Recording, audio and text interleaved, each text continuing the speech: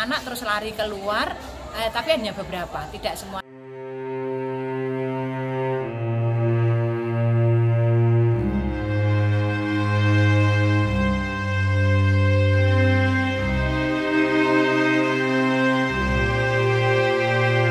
Di Kamis jam 3.30 ada angin yang sangat besar dan hujan yang sangat deras yang mengakibatkan eh, beberapa ruang dari SMA Negeri 1 Wonosari mengalami kerusakan. Terima kasih kebetulan kemarin itu terjadinya 3.30 lebih ya Pak. Jadi kita memang pulang 3.15 menit sore. Kemudian anak-anak sudah pulang, ada beberapa anak yang karena tugas untuk hari ini, jadi masih menempati ruang inilah. Anak-anak ini tadi kan kita ada di ruang guru, bapak ibu guru semua, tidak bisa keluar mendampingi anak-anak, tapi anak-anak juga tidak bisa uh, ke ruang guru karena cuaca yang tidak memungkinkan. Sangat ye sampai ruang guru kemarin uh, juga bocor semua air masuk juga.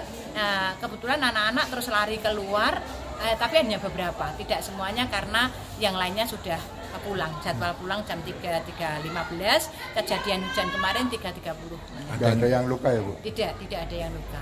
Ya, untuk KBM-nya terima kasih untuk kelas 12 hari ini off semua karena untuk kebersihan dan untuk juga melihat hal-hal akibat kerusakan kemarin.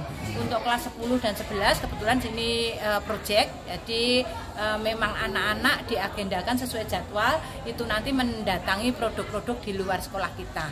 Ini 11C pindah ke lab fisika, kemudian 11D pindah ke lab kimia ya Langkah dari pihak sekolah seperti apa? langkah dari sekolah sejak kemarin sore kita sudah koordinasi dengan kepala sekolah koordinasi dengan Capdin kemudian kita menginventarisasi apa rusakan yang terjadi dan kita menunggu tindak lanjut berikutnya dari Bapak Kepala dan juga dari Capdin untuk eh, pembenahan semuanya.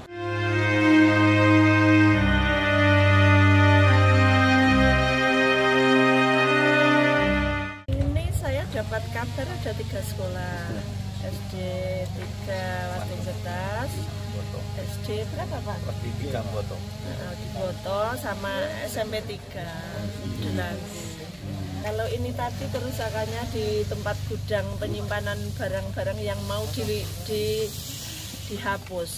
Jadi ada asbes yang ini tapi ini ibu kepalanya sudah undang tukang ya sama tempat sepeda. Mau diperbaiki. Jadi anak-anak saya kira besok pagi tetap PBM bisa melaksanakan itu. tidak terganggu PBM di atap apa yang atap yang tidak permanen nggih.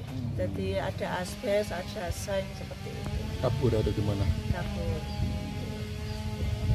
Ini kami kami lihat dulu observasi, kami catat, kami data, tapi kami sudah menyampaikan ke ke pihak sekolah, ibu kepalanya seperti tadi yang yang itu yang sederhana ya beli seng, beli apa pakai dana yang ada.